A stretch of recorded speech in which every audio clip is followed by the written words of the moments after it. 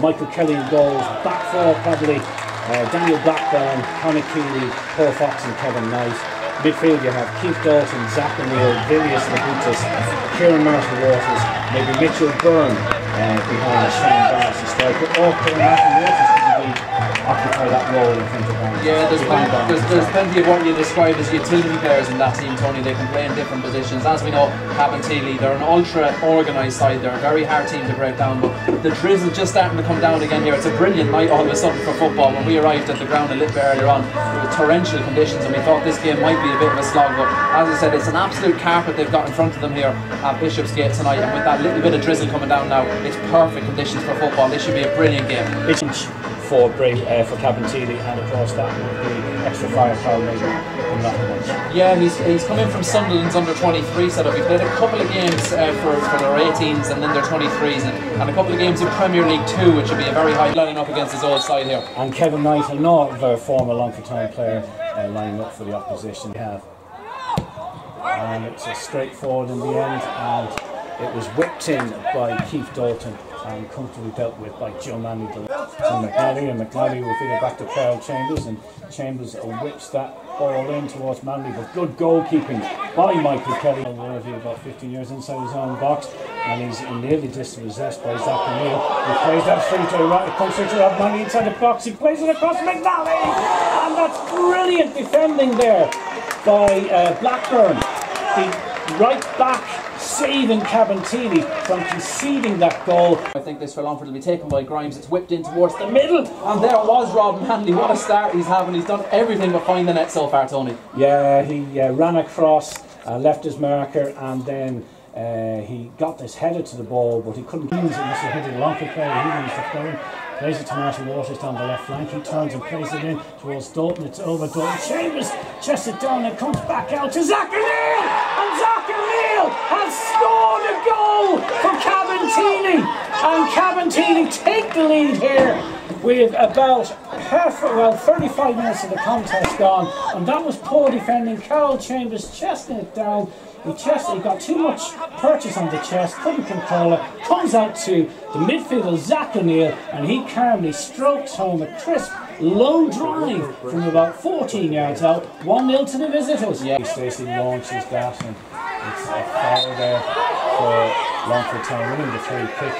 And it's uh, Once again, Manley. how many free kicks has Rob Manley won now? And it's won by the head of Joe Manley, but it comes back. And Shane Barnes is in and Shane Barnes shoots. Oh, hits the woodwork. Shane Barnes with a chance to score a sixth goal. He's about 15 yards out from goal. It bounces up. He gets his laces through the ball. Stacey beaten, but comes back off the woodwork. It's the penalty spot.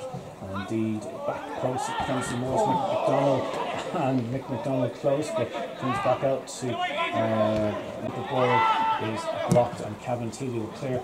Could be a counter Kieran Marty Waters. He's too long for time play. Holds the ball up well. Plays it through to Shane Barnes. Shane Barnes foot on the wall. Back to Kieran Marty Waters. Kieran Marty Waters gets better than Manley 2 0. And Teely go two goals to nil up.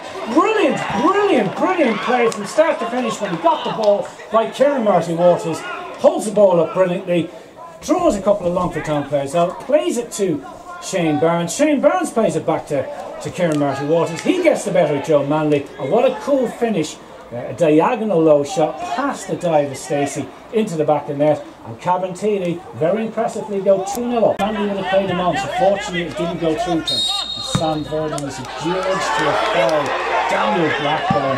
And I think he's going to get himself a yellow for a bit lip to the referee. I think the referee's accusing of jumping into the the at the back, yeah. and Kevin Knight again. Oh, Longford have totally switched off here. Keith Dalton whips it in. Marty Ward's got ahead on it. That was almost a disaster for Longford. Totally switched off. Look, Dalton launches that in, and Shane Barnes, it just bounces over his foot as he slides in, and there Cabinteely, who will get his underway in the second half, with Longford Town trailing by two goals to nil, and it's Barnes who gets his underway, and it's launched towards the run to on the left hand side. Sam makes a run to the box, and he gets there, but it just takes a ricochet out for another corner.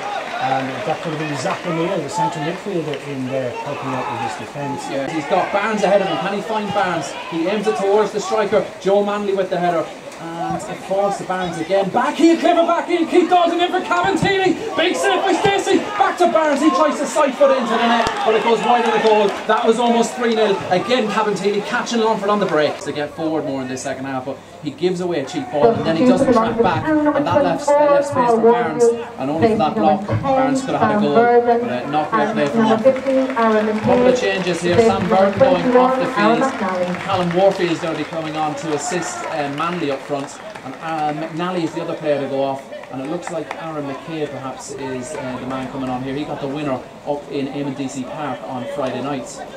Yeah, it is uh, Aaron McNally who's gone off, and of course McCabe. That they can use that as, a, as an effective tool. It's in towards Manley, turns towards goal. He's got one thought in his mind, that's the shoot, but it's over the bar for Manley. Again, encouraging 22 yards out. He just seemed to slip when he when he shot there in the ball. Need to make something happen here. Ball into the area, it's towards Barnes. What a tackle that was from Elworthy. It's still alive here, Aodh Dervin. And that was Fox. Cleared away by Manley. Ball again with Joe Manley. And uh, Joe Manley plays inside to Grimes. Grimes feeds it through to McCabe and whips it across the box. And Connick. He's looking for support. He plays it across to Joe Manley. Just right of centre. He's 30 yards out. Launches the ball! Hits the crossbar! What an effort from Joe Manley, the centre half, 30 yards out, rising shot, sailed past the vainful dive of Mick Kelly and uh, came cracking, crashing back off the crossbar, crack right wing. And Dalton gets by one challenge and whips that ball in, but uh, Lee Stacey pounds it away and he pushes Kieran Marty Waters is it in the back and it's a penalty to Cabinteely and poor goalkeeping, he, he tried to palm away, didn't get enough purchase, comes to Kieran Marty Waters, and a push in the back, definite penalty. This goes in, it's uh, game over, and Kevin Knight scores from the penalty spot. So 3 0 to Cabinteely. So uh, a bit of despondency in my voice as I'm uh, describing straight down the centre there, and uh, good penalty, high in a centre position goal, 3 0 three points. Feed that through to Grimes, who turns inside Blackburn. Lisboa gets it back and shoots. Oh, and a Oh, great a save! save. What a 30 save. yards out from Grimes. Keeper off his line, but Mick Kelly backtracks, backpedals, and manages to pull off a good save panel over the crossbar. So good move, good idea, but good save by Kelly. Uh, brilliant save. And Dean Zamber in the corner for Longford Town towards Warfield.